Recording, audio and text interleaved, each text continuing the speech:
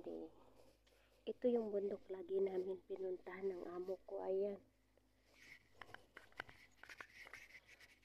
Ayan o. Daming sasakyan.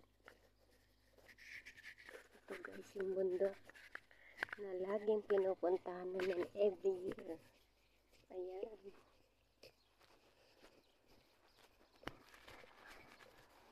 Ito guys. May swimming pool dito.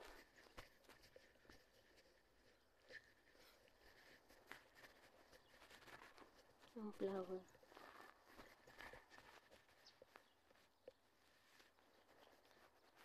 Ang daming sakyan yun yun ang laruan. Tinis. Ayan, yung bundok. One month kami dito.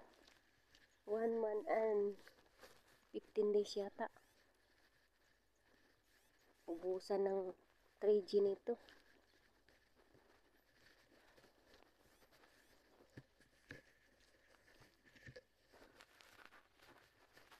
Ayan yung aso ko.